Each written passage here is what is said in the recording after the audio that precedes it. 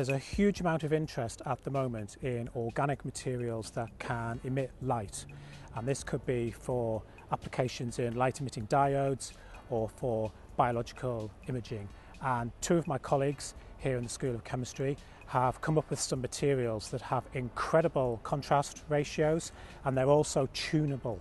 So the opportunities to use them in things that would be of huge benefit to all of us are possibly just round the corner.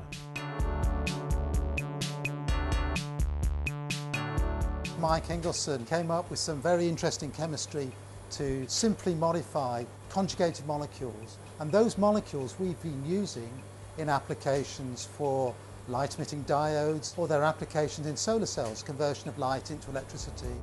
A lot of smartphones now are using what are called organic light emitting diode displays where we have organic molecules which emit light on the application of electricity. And Mike's got some interesting chemistry that can transform the colour of emission uh, from those molecules from blue to green to red. Most materials used in light emitting diodes are based on expensive rare earth elements such as platinum and iridium. This is just incorporating cheap and plentiful uh, boron to give highly emissive materials.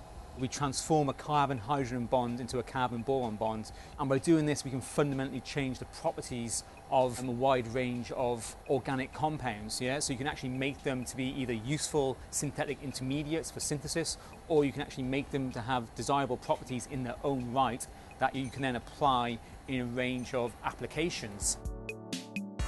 By adding a simple commercial reagent, boron trichloride, to a compound, we do a chemical transformation that changes the energy of the light that it absorbs, i.e. the colour of the light that it absorbs, and the colour of the light that it, it emits. So for example, you, you take a compound that would be a green emissive material, i.e. emitting green light, and by doing a very simple transformation, you generate a material that emits red light in the, in the deep red region and even in the near infrared region of the spectrum.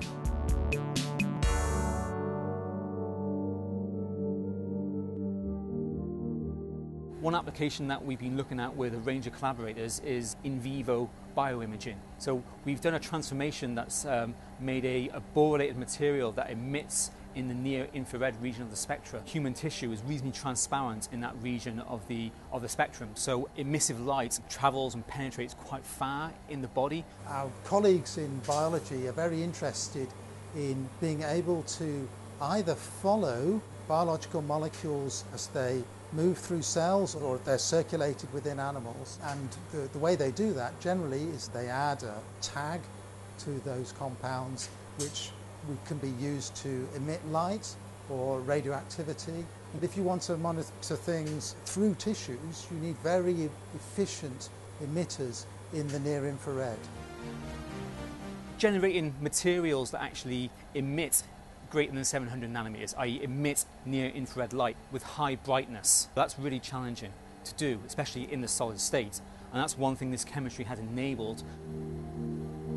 We've been taking the molecules that Mike and Dan have, have made in the laboratories upstairs and we've been depositing them onto substrates for use in devices. And this is actually a, a field effect transistor, an organic field effect transistor.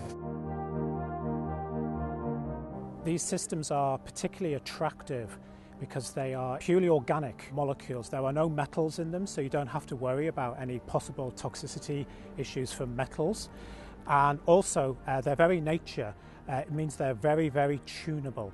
And this means that you can uh, almost dial up the colour that comes out of these molecules, and that could be hugely useful if you're going to try and use them in a display or if there's a bioimaging problem, like if you're sick and you go to the doctor and a test is run, it could be that that ability to change the colour would be really important to probing one suspect illness over another.